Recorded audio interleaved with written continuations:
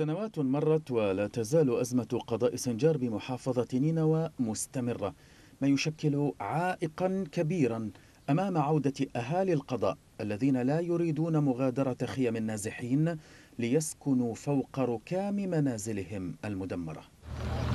أكثر من 183 ألفا من أهالي سنجار ما زالوا نازحين وفق تقرير صدر مؤخرا عن منظمة الهجرة الدولية إذ لا يثق غالبية النازحين بوعود الحكومة التي تركتهم يعيشون مأساة إنسانية في مخيمات النزوح.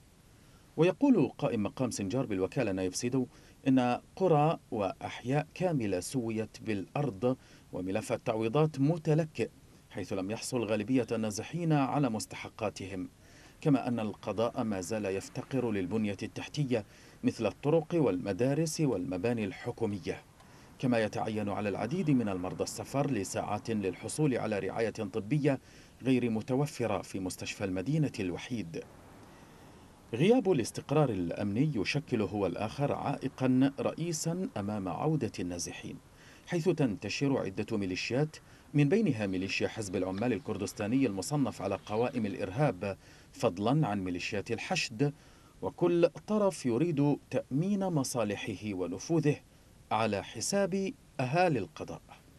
تحديد السلطات الحكومية مهلة تنتهي في الثلاثين من تموز لإغلاق مخيمات النزوح ووعدها بمساعدات مالية للعائدين إلى قراهم. لم يحفز النازحين على العودة لا سيما وأن تلك المساعدات لا تفي لإعادة إعمار ولو جزء من منزل مدمر. ناهيك عن قدراتها على تأمين سبل العيش. ومنذ سنوات طويلة تقع سنجار في صلب نزاع بين حكومتي بغداد وسلطات كردستان العراق حيث فشل الطرفان في تنفيذ اتفاق توصلا إليه في 2020 لإعمار المنطقة. وتقول منظمة هيومن رايتس ووتش إنه في حين تتنازع بغداد وأربيل على سنجار فإن أيا منهما لا تقوم بالدور المطلوب في تحمل مسؤوليتها.